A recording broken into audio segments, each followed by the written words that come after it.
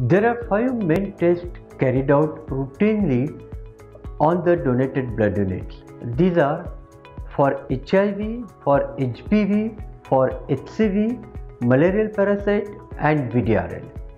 Routinely, the tests are carried out by ELISA or chemiluminescence technique all over India.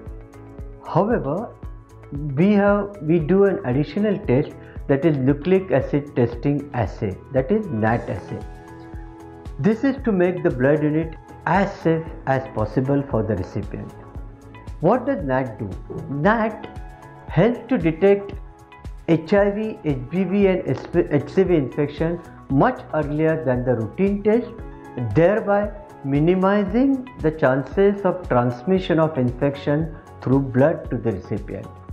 Of course, Hinduja Hospital Blood Center was the first one to start this NAT assay in Western India.